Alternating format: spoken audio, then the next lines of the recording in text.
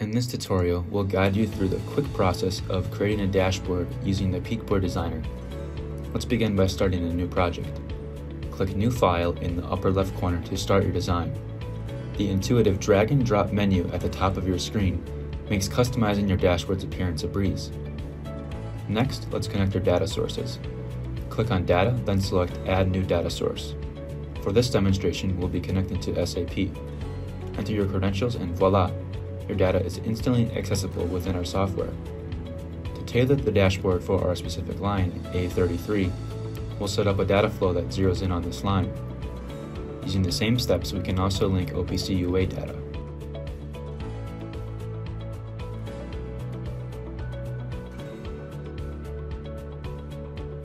Peakboard Designer's user-friendly approach means that you can create logic and interactivity without any coding expertise.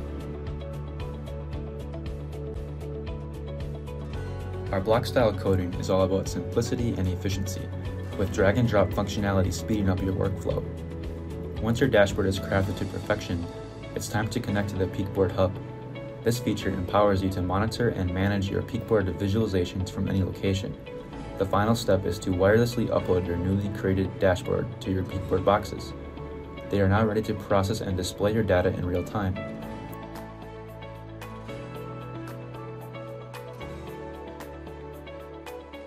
I also want to point out that our website contains a variety of ready-to-use templates, available at no cost to you. Feel free to use these onto your own dashboards or unleash your creativity by designing your own. Thanks for watching.